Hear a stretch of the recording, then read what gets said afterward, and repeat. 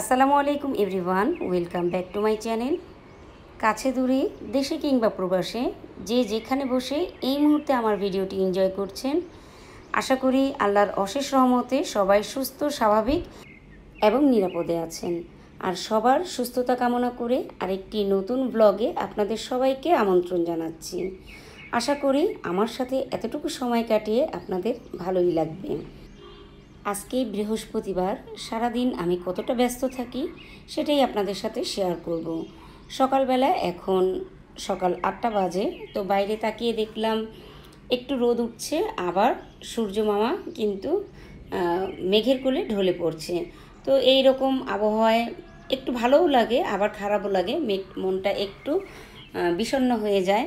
তো বাইরে এসে দেখলাম আমার গাছগুলোতে খুব সুন্দর ফুল, এটা দেখে অবশ্য মনটা ভালো হয়ে গেল।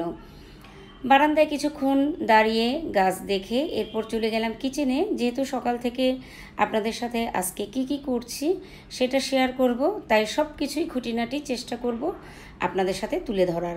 তাহলে বোঝা যাবে যে আমি কতটা ব্যস্ত সময় পার করি।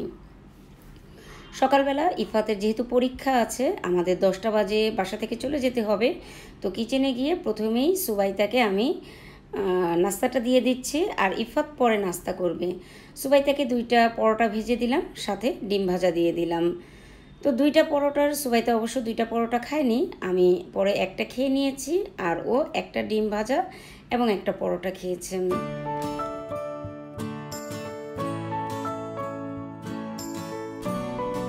আমরা গৃহিণীরা সারাদিন অনেক পরিশ্রম করি, তারপরেও কিন্তু সবাই ভাবে, কিসের এত কাজ, তাই না?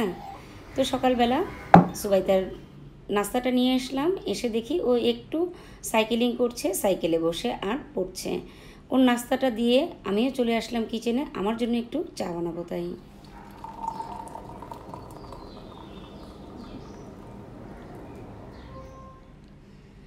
সুবাইতাকে নিয়ে আমারও যেহেতু যেতে হবে, তাই আমি আমার জন্য একটু চা বানিয়ে নিচ্ছি। আর ওই যে সুবাইতাকে দুইটা পরোটা দিয়েছিলাম, ও সেই দুইটা পরোটা খায়নি, একটা খেয়েছে। তো চা দিয়ে আমি আরেকটা পরোটা খেয়ে নিচ্ছি। এই তো সকালের নাস্তা এতটুকুই। এরপর আবার চলে যাব আমি স্কুলে সুবাইতাকে নিয়ে। বাসায় এসে আবার ইফাতকে নিয়েও যেতে হবে। আর এই যে মানি প্লান্ট গাছটা কিন্তু খুব সুন্দর করে একদম বেড়ে উঠছে। আর যেহেতু এখন বর্ষার সিজন, তাই গাছটা কিন্তু আরও দ্রুত বৃদ্ধি পাবে। বর্ষার সিজনে মানি প্লান্ট গাছগুলো এবং সবগুলো গাছই কিন্তু খুব সুন্দরভাবে বেড়ে ওঠে। আমার চাটা নিয়ে আমি চলে আসলাম আমার রুমে কারণ আমি আমার খাটের পাশে বসে চাটা খেতে বেশি পছন্দ করি। খাটের পাশে খুব সুন্দর একটা জিজি প্লান্ট আছে, আর বারান্দার গাছ দেখে দেখে চাটা খেয়ে নেব। আর এই যে পরোটা সবাইতে রেখে দিয়েছি, এটাও কিন্তু আমি চায়ের সাথে খেয়ে নিচ্ছি। চা খেতে খেতে বারান্দার গাছগুলোর দিকে একটু তাকালাম। খুব ভালো লাগে বারান্দায় ফুলগুলো দেখতে। আর এই ফুলগুলো যেহেতু টাইম ফুল মানে হচ্ছে গিয়ে আটটা নয়টার মধ্যে ফুটে, আবার নির্দিষ্ট সময় পর এই ফুলগুলো কিন্তু চুপসে যায়। তো এই সময় সকালবেলা এই ফুলগুলো দেখতে খুবই ভালো লাগে। এর সৌন্দর্য মনে হয় অনেক গুণ বেড়ে যায়। আর এই গাছটা তো খুবই সুন্দর করে বৃদ্ধি পাচ্ছে এবং খুবই দ্রুত বৃদ্ধি পাচ্ছে। বেশি সময় ধরে কিন্তু আমি চাটা খেতে পারিনি, কারণ আমার যেহেতু তারা আছে, সুবাইতাকে নিয়ে স্কুলে যেতে হবে, তাই চটজলদি চাটা খেয়ে আমি রেডি হয়ে নেব। আর সুবাইতা কিন্তু অলরেডি রেডি হওয়া শুরু করে দিয়েছে। এখানে কয়েক রকমের পর্তুলিকা ফুল আছে, কিছু কিছু কালার হলুদ, কিছু কালার লাল, কিছু কালার ম্যাজেন্ডা, আবার কিছু হলুদ আর ম্যাজেন্ডার মাঝামাঝি কালার। তো আজকে এই পাশে কতগুলো হলুদ ফুটেছে আর ওই পাশে ফুটেছে ম্যাজেন্ডা কালার পর্তুলিকা। এটা হচ্ছে গিয়ে বারান্দার বাইরের অংশটা। বাইরের অংশ কিন্তু ভেতরের অংশের চাইতে বেশি সুন্দর দেখা যায়। আর এই যে যখন বাতাসে গাছগুলো দোল খায়, তখন কিন্তু এর সৌন্দর্য আরও অনেক অনেক গুণ বেড়ে যায়। অনেকক্ষণ গাছ দেখা হলো, মন পূজা হলো, এখন পেট পূজা করা যাক। তো আমি চাটা খেয়ে নিচ্ছি, এই পরোটা দিয়ে। আর সুবাইতা পাশে দাঁড়িয়ে থেকে আমার চা পরোটা খাওয়া দেখে হাসছে। তো আমি বললাম, হাসার দরকার নেই, তুমি তাড়াতাড়ি রেডি হও। এখন পরোটাটা খাওয়া শেষ। আমি চা নিয়ে চলে আসলাম আমার সোফাটার ওপর। এটা হচ্ছে কি বারান্দার পাশেই সোফাটা আর ড্রেসিং টেবিলটা। তো এখানে বসে বাকি চাটুকু শেষ করে নিচ্ছি। চা খেতে খেতে আপনাদের ছোট্ট একটি রিকোয়েস্ট করছি। আমার ভিডিওগুলো যদি ভালো লেগে থাকে, তাহলে প্লিজ আমার চ্যানেলটি সাবস্ক্রাইব করে আমার পাশেই থাকবেন। এই তো সুবাইতা রেডি হয়ে নিচ্ছে। আর ওর চুলটাও আমি বেঁধে দেব। কালকে থেকে মাথাটা প্রচণ্ড ব্যথা ছিল। যেহেতু সকালবেলা নাস্তা করেছি, তাই ভাবলাম যে মাথা ব্যথার ওষুধটা খেয়েই ফেলে। কারণ সারাদিন তো আমাকে অনেক পরিশ্রম করতে হবে। সুবাইতা এবং আমি, আমরা দুজনেই রেডি হয়ে গিয়েছি। এখন চলে যাচ্ছি স্কুলে সুবাইতার হচ্ছে এগারোটা থেকে পরীক্ষা। এগারোটা থেকে একটা পর্যন্ত আর ইফাতের দুইটা থেকে চারটা পর্যন্ত। তো আজকে যেহেতু সুবাইতার একটা পরীক্ষা হবে, দুইটা পরীক্ষা হবে না একসাথে, তাই আমি বসে থেকে সুবাইতাকে নিয়ে তারপরে বাসায় আসব। অবশ্য দুইটা পরীক্ষা হলে আমার ভালো হতো, আমি বাসায় এসে কিছুটা সময় পেতাম।